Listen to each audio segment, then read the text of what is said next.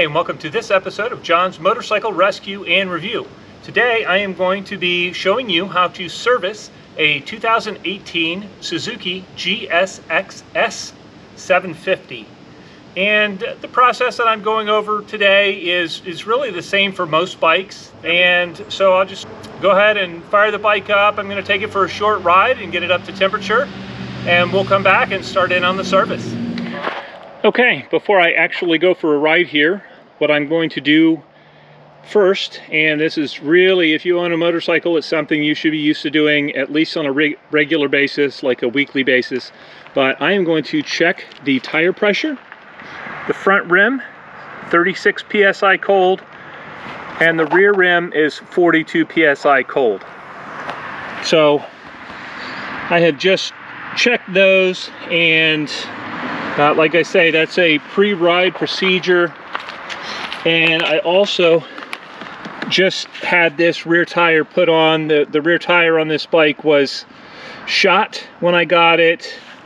And so this is a brand new rear tire. So when I go for a ride here, I'm gonna be extra careful and kind of work this tire in. When you, whenever you get a brand new tire put on, they can be a little bit slick at first and uh, you just want to be careful kind of slowly work them further over on the edges another thing that I've done pre-service here is I have mounted a battery tender and I've also made sure that this was plugged in overnight and so I've got a full charge on my battery. And what that's going to do is when I test the charging system once the bike is warm it just gives me the most accurate reading. So again I put on a battery tender on all my bikes and I always make sure they've been on at least overnight before I check the charging system. So just a, kind of a heads up there. All right, we'll go for a ride, come back and start it on the service. The bike is fully up to temperature now. And uh, one of the things that is on my checklist is to make sure that the fan kicks on at operating temperature. And I just heard that kick on, so that is an item on the checklist what we'll do right now is just take a look and make sure that all our lights are functioning. This bike has different running lights in some motorcycles. It's actually got the running lights here and here instead of in the turn signals. So those are working, the headlight works. And that is high beam, the low beam works, turn signals work, front and back. I can see that here.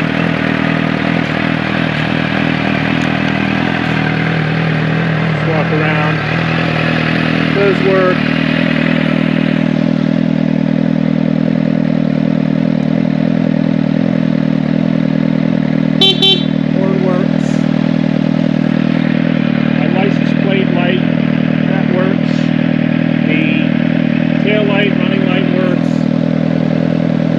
brakes. This is the handbrake. That kicks on. Foot brake. That kicks on when it should. So all of our lights are functioning as they should. The horn works. And uh, the rest of the stuff we'll go over here shortly. Um, and then while it's also while it's up to temperature, what we're going to do is look underneath the bike and make sure that our coolant level is where it should be and when it's warm you can see right there it's at the full mark so this is my voltmeter. We're setting it to DC voltage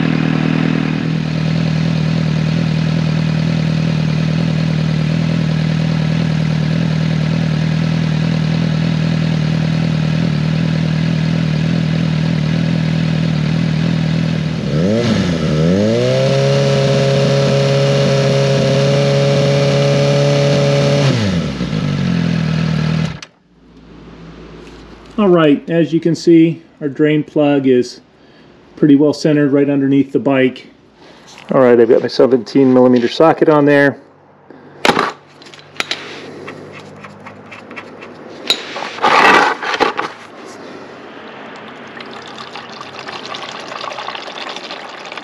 All right, another good sign. I don't really see a lot of metal shavings on the magnet here on the drain plug. And that's something I always look for when I'm changing the oil, but that looks good. Okay, once the exhaust pipes cooled down just a little bit, I was able to get my oil filter wrench onto the oil filter. And I've got two extensions here kind of coming out through the exhaust pipes, and I'm going to just go ahead and loosen that up and take the oil filter off.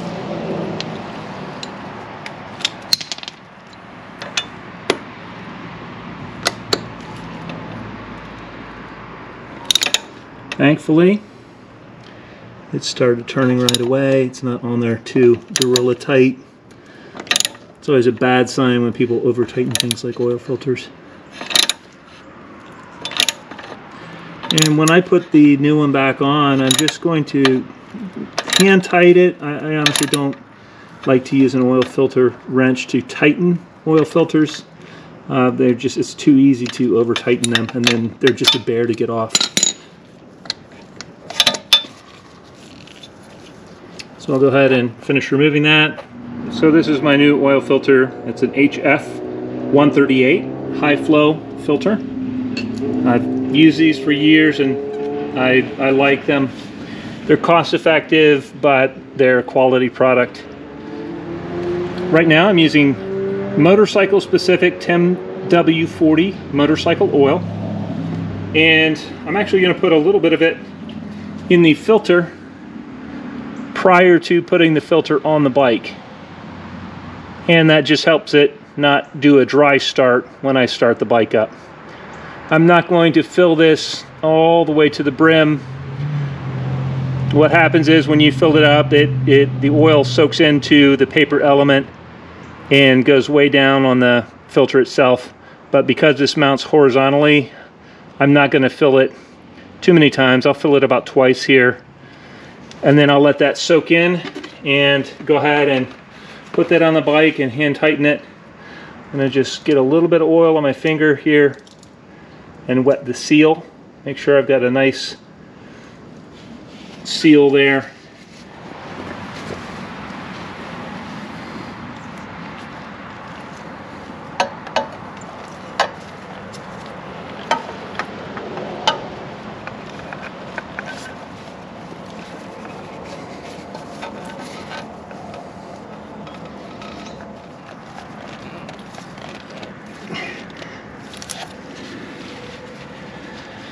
Okay, that is good and tight. And I'm going to go ahead and start to fill the motorcycle with oil. I'll probably put the bike on a stand so that it's level and I can actually see as the oil gets uh, towards the correct mark on the bike I'll actually see it in the sight glass and then once once I see it there a little bit what I can do is just put the back wheel back down and uh, just slowly add oil until it's at the proper level. And then I'll fire it up, let it settle for a little bit, and check it again. And uh, finalize my oil level. But again, this stuff is not rocket science. You just don't want to overfill the bike. All right, there's the sight glass. I'm going to bring the bike upright. And this is the final oil level here.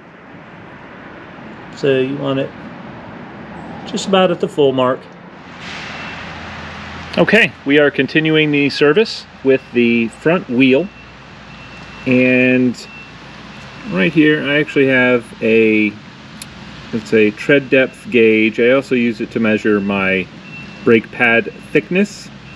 And I have measured the brake pad thickness on, on the front brakes at 430 seconds I also use this to measure my front tire tread depth at 330 seconds. And in Pennsylvania, uh, 230 seconds is kind of the cutoff. So we still have a little bit of life left in this front tire. Uh, the bike has less than 4,000 miles on it. And another thing I check is we've checked the tire pressure. And also when you check these, it's good to check your valve stems, push them over like this you want to look for dry rot cracks. And uh, you want to do that on both sides, on both your front and rear wheels. And that, I've, I've had one of these valve stems uh, give out on me at about 70 miles an hour and I was very very fortunate to maintain control of the bike and, and make it uh, home that day so that's just a, a, critical thing that that was a, a, lesson learned and after that every time I service a bike I do check the valve stems while we're right here we are also going to look at the front forks look for any oil residue you want to look for any oil around here or dark marks and these as I would expect on a you know, a, a relatively new bike. These are perfectly clean.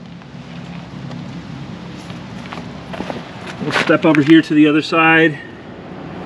Also perfectly clean, which is great. That's what you want to see.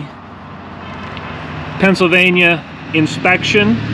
Uh, this expires in uh, June of 2022.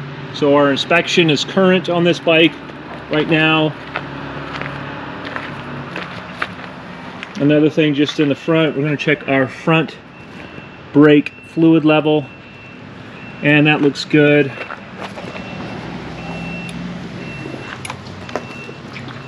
Stand the bike up.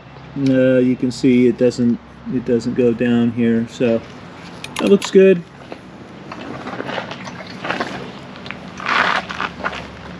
Before I finish here, I'm actually going to pull these little caps and I'll check my tension on these guys uh, you just wouldn't want this bar rotating front or back while you're driving the bike. I've also, while we're here, I've adjusted the brake lever for my hands. I have fairly big hands, so this is kind of as far out uh, that I like my brakes to grab pretty far out. And I've also set my clutch tension so I have just a little bit of free play here before it starts to grab and then you have that full range there. You don't want this super tight. Like I say, I got just a little bit of free play before it actually starts to pull the clutch in and that's that's what you want. So let's move on to the rear of the bike. We'll look at our rear brake fluid level.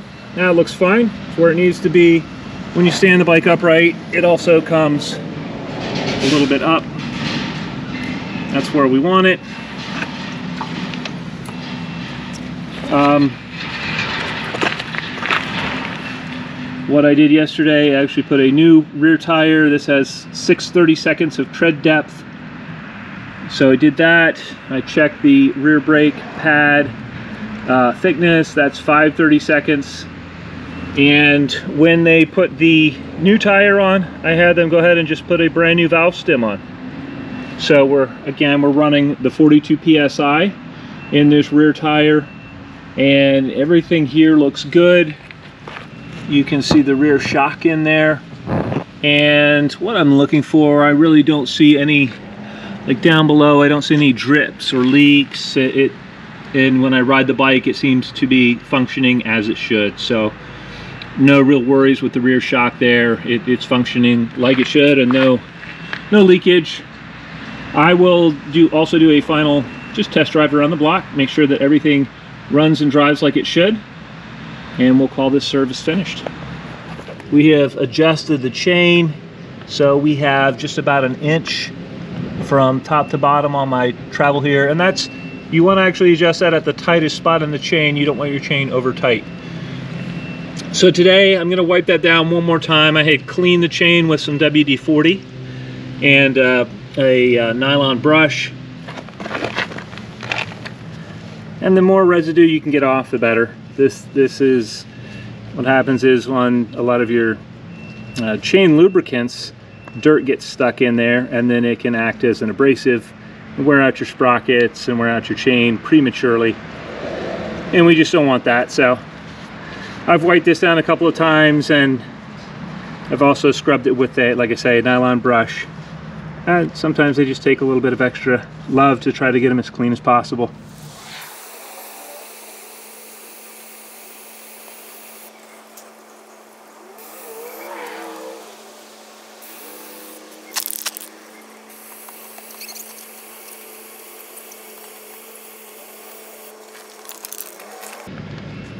And she's done. We'll let that set up for, oh, probably five, ten minutes. And this, this stuff actually sets up pretty hard and it doesn't seem to, it, it seems to protect the chain without attracting a lot of dirt. And that's why I use this product. It's by Maxima. It's just called Maxima Chain Wax. Because this bike has a aftermarket exhaust, I just want to check my exhaust bolts here and here. Make sure that they were uh, installed properly and, and that they're tight not not gonna come loose there. All right, I am test driving the 2018 Suzuki GSX-S 750. I just did the oil and filter change and pretty much a full service on this bike. Uh, it's a new addition to the stable here, so every new addition I get, I do the same service on it just to make sure, for my peace of mind, that it is ready to hit the road. And uh, yeah, everything seems to be functioning well. It's shifting nicely. No lights or bad noises. I can definitely tell an improvement in the handling now that I put a rear tire on it. Okay, so there you have it. That is how to service a 2018 Suzuki GSX S 750 and I did one final check after I came back from the test drive and look there were no leaks or drips uh, no smell of burning oil or anything like that. Uh, like I say the procedure is the same for almost any motorcycle. And if you have any questions or comments please feel free to uh, leave them down below. I hope you enjoyed this video and found it entertaining and informative. Alright until next time have a great day